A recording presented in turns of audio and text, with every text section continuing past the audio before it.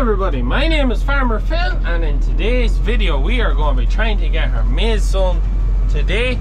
Hopefully today, I might roll into tomorrow because we have a bit of an issue or it's not just working how we were hoping it would.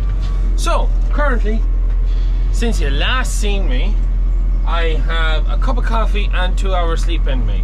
So yeah, I'm pretty knackered, but I'll be alright. We have Rory there, is in the 6290 with the Triple K harrowing away, but the problem we're having, we were hoping that the sods, the Triple K would break up the sods enough that we'd just be straight out with the stone picker, but that's just not the case. It's still, see all them, they're just gonna go into the tank, the stone picker. All the stones will too, but no, they need to be broken up. We're going to, had to take off the stone picker because I put it on when I got back last night at 5 o'clock. And um, we're back onto this car. So we're going to disc it and just to keep our head till we fine it up enough that the there's not as many clods to go into the tank. We get it unfolded we get stuck into it.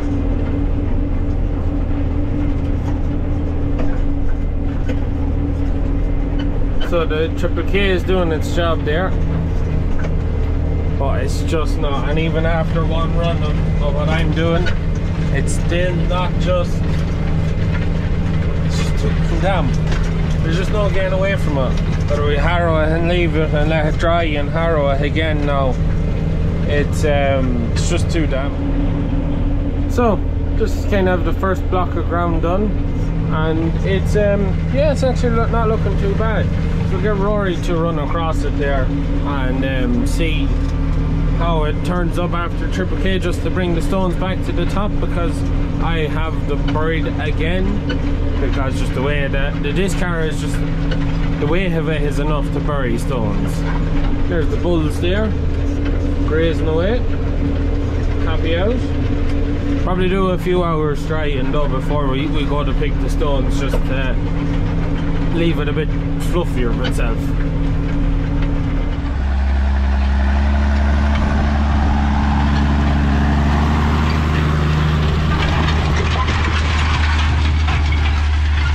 that's it. It is doing its job. It's a bit windy it's turning up the stones.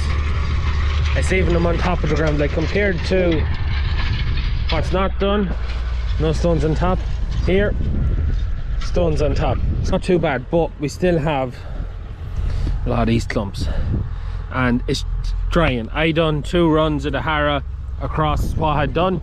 It's making no difference to it there's a good breeze out as you can probably tell by the wind noise in the mic. Hopefully as it now? It's 10 o'clock. If we get it all harrowed up leave it till after dinner to go at it it may have dried enough to break up them last few clods. It just needs a bit of drying. We keep going but the triple k is doing its job. They're turning up the stones. Rory's going to go back over what i have done and we'll finish up then and let it dry up and hopefully it goes and for anyone who hasn't watched previous video Rory is from New Zealand and he's working for us for the summer as himself and his partner travel. We're just doing this bottom end now. Rory's well on now. You can see the, the finish he's getting with the Triple K. Quite nice. The stones are sitting up there nicely so it should be hopefully a pretty straightforward run to gather the lock of stones off it just so that the plastic for holding down. The maize actually doesn't have the stones getting in the way and then the sheets of maize or plastic blowing off. Because that's what's happened before is anywhere there's a stone that just blocks the, the machine for throwing the clay up onto the edge of the plastic just to keep it down and then the sheet blows away. Hopefully it won't happen this year because it's not plastic we got this time it's biodegradable film. And that stuff is bloody expensive and now that is the field hard. Rory's nearly done it too. He just has this smaller lower bit to do. Contractor, I think, is here with the drill. We'll just go in and we'll see what the story is. Whether we're going to go harrow the beet field or whether we put on the stone picker and get started at it. Update on the plan is now to go straight back out stone picking. Um, the contractor that's on the plastic because our maize drill is non-plastic. Father Phil wants to put plastic under it. Now, plastic, biodegradable. Biodegradable, if we look at it. But um, so after it's the only job we get a contractor in for. So he was just leaving down as cheap. That's why he was here. So he's gone back to get his tractor. This video is sponsored by Gold Crop. Same as last year, Gold Crop are sponsoring our forage videos, so our maize, our beet. We'll be growing uh, grill rape again and cover crops and all of that. And our multi-species sward. So they left up a pallet of all the seeds we need now. Just exclude them bags there. Uh, farmer, we have to do a bit of reseeding for left up them bags. So they'll hopefully we'll get some one of us will get to that this evening and get them out. Have our seed here. So we have haven't it opened up yet. We have Foxtrot, same as we used last year, dual purpose. And then we have is LG 310 31207. They're the two varieties of maize we're sowing this year, so we're putting in 12 acres. Thanks to Goldcrop for sponsoring today's video. Most expensive stuff, the thing that makes growing maize a bit of a killer is the plastic. And it's, don't know, can we call it plastic anymore because it is the bio clear stuff. So to put a ban on the plastic that had been used for many, many years because it was not environmentally savvy. The biodegradable film is a fully biodegradable product that I don't know exactly what it's made of, but it just it disappears. It's not like the old stuff that was UV unstabilized and the sunlight broke it down into microplastics. This actually degrades, biodegrades itself. Interesting how it goes because I've heard mixed reports on how it's worked last year and not lasting long enough and different things. It's very expensive. I think Father Phil says it's 260 euro a roll and a roll does an acre. So yeah, there's a lot of money sitting on that pallet. The 10 rolls, so of the 12 acres we're putting in, Father Phil's bringing barley to cattle. 12 acres, 2 acres are going uncovered. So the LG if a, is a covered variety, then the Foxtrot is dual variety. So we're going to start off an LG at the bottom end of the field and then Foxtrot will run out. We'll use at the top end of the field. Top end of the field is the most stoniest. So even though we are picking the stones, it's probably where putting in the biofilm will probably be the hardest so we're not going to put the plastic there. It is time to get the stone picker on.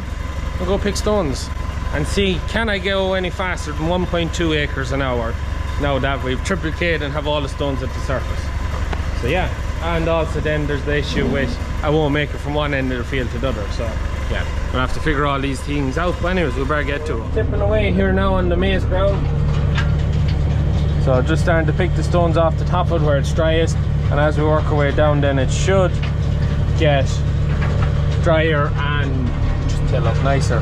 So Rory's in the cab with me. So just teaching Rory how to use it, just showing how to work it so I can get the harness up. And I'll do the next field while Rory's getting some of this done, get the beet ground ready. We're just about full again and it's a full of a load to half a run. So it is quite stony ground go on past and we'll tip this load. Back it in here and tip.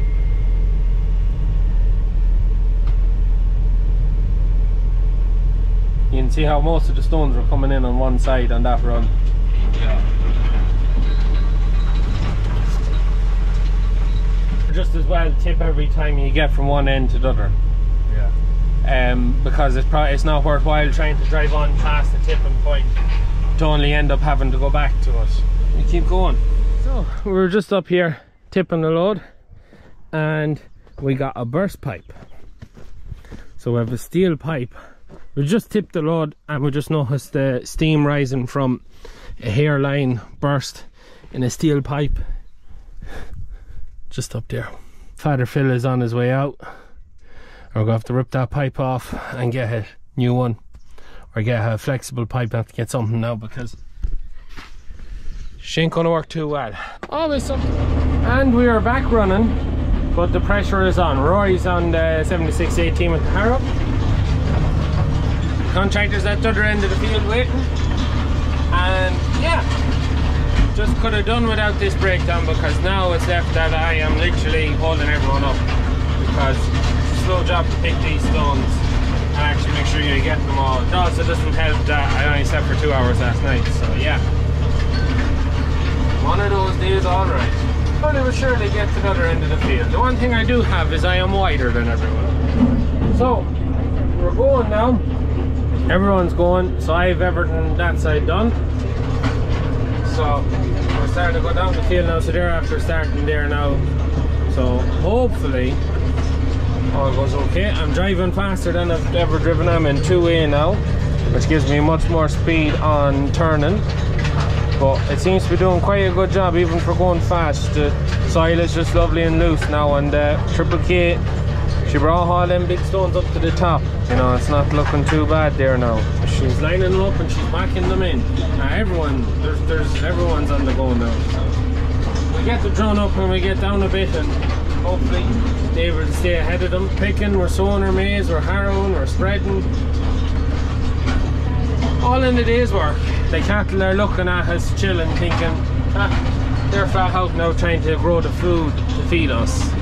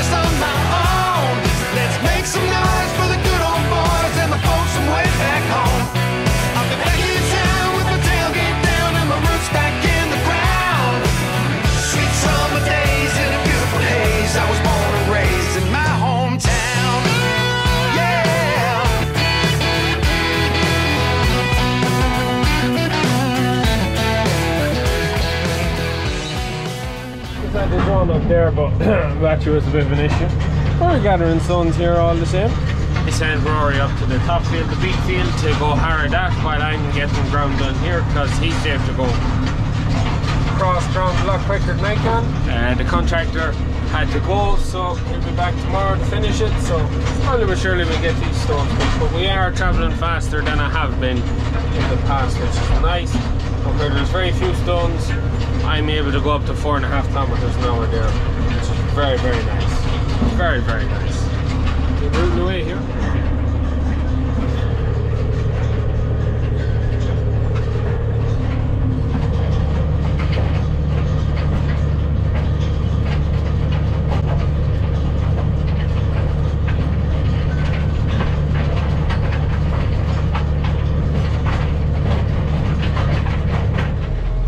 So this is only the second time it's happened, but her stone has jammed in between them and then stuck the road. Also as you can tell, it's a great way of gathering up all the other dirt off the field for the rowers, the very same. You can see they're just starting to round the tip. Anyways, try and get this out.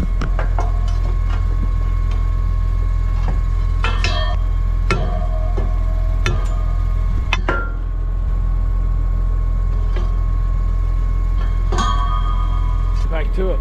Nearly coming near short ground. And running out of space to tip stones in that pile there. That pile up there I can't get to. Lots of space at the far end. And that pile there is starting to encroach on the field. A lot of stone gathered. Driving a bit faster too. And seem to be leaving behind more of, you know, them ones, the ones that I don't they, they won't do any harm it's the likes of him, him, him, you know, that we're after. Which there's no shortage of them. So it's a great job for getting rid of all them ones. And I seem to be leaving behind more of the smaller ones this time. Just with the Triple K having brought them up, I can drive that bit faster because there's no trying to route them out or anything. They're just up there lovely and loose. Can drive around, still get the big ones and leave more small ones behind. So win-win.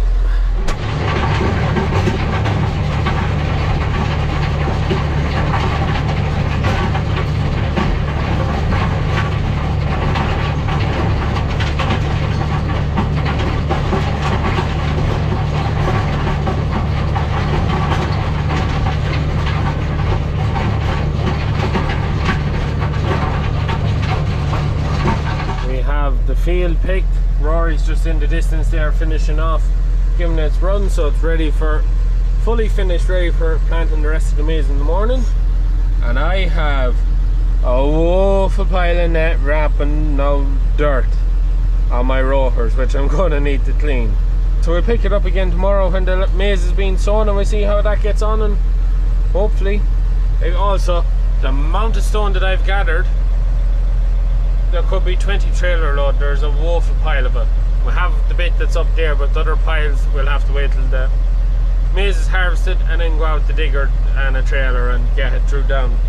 It's not ideal but we just didn't have didn't have enough people to be able to draw the stone away. It also would have been a heck of a lot quicker if I did have someone but look it is what it is. But anyways park this up in the yard. And it is the next day. It's a bit windy.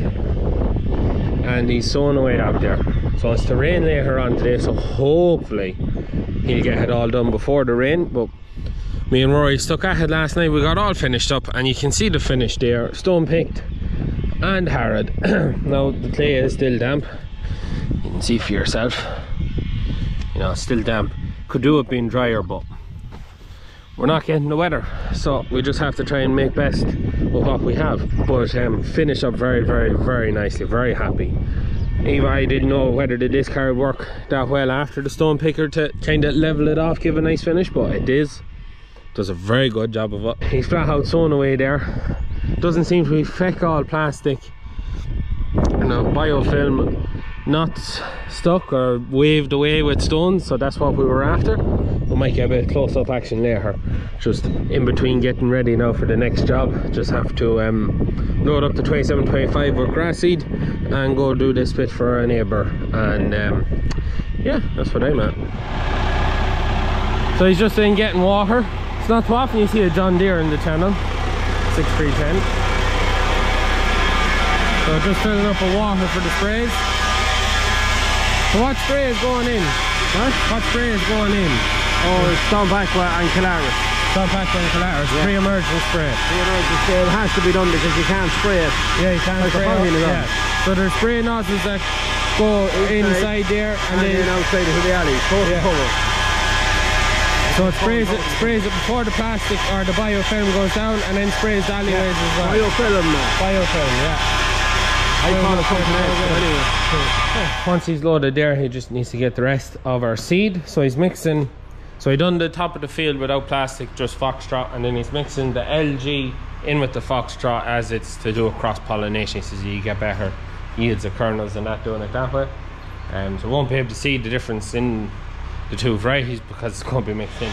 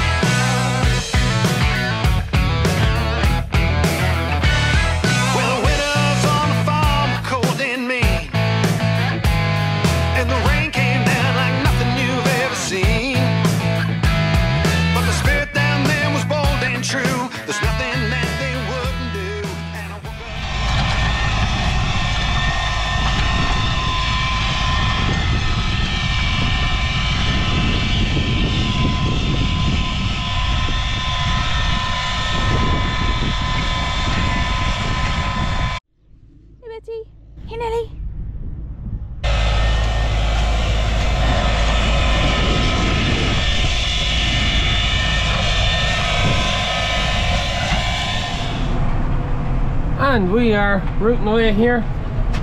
We're back in the field. The maize is all sown across it, except for just the headlands. So we're harrowing the headlands ahead of the drill. So we'll start the far headland, do these headlands, maybe try and give it two pushes to roughen it up. Might want to let down the harrow a bit. But um, yeah, doesn't seem to turn out too bad. A few small spots, but for how sunny the ground is now, you know, I don't think it's too bad now. Don't think it's too bad. So yeah, a few weeks, that'll be a nice crop of maize coming up. fire every morning. So baby, I've got news for you. I wanna do this on my own. So let's make some noise for the So just starting to sow the headland there. Turning up nicely now. Nice field to see now, 12 acres of maize in. Uh, still dry. We didn't think we were going to get this long it, but looks like we have. So now, just take track out. This bulb here, it doesn't really matter, we'll just run across it again.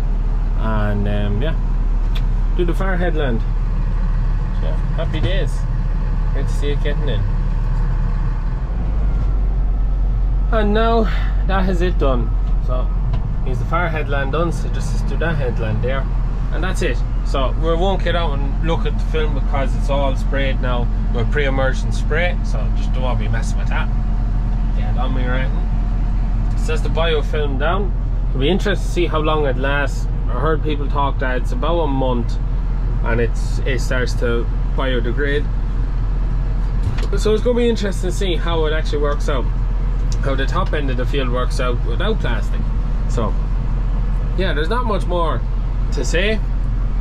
But, yeah, that's really it for today's video. I hope you enjoyed it. If you have any comments, as always, hit me down in the comments down below. Sorry there was no drone footage and so on. I was just busy trying to get other crops in and I was doing that with seeding for the customer. And yeah, it's just a hectic time now trying to make the most of the weather while we have it because it's supposed to rain around 5 or 6 o'clock which we won't find coming and there's still more to be sown so anyways I hope you enjoyed it. As always please like and subscribe to the channel. Videos every Tuesday Thursday and Sunday. That is it for me. Good luck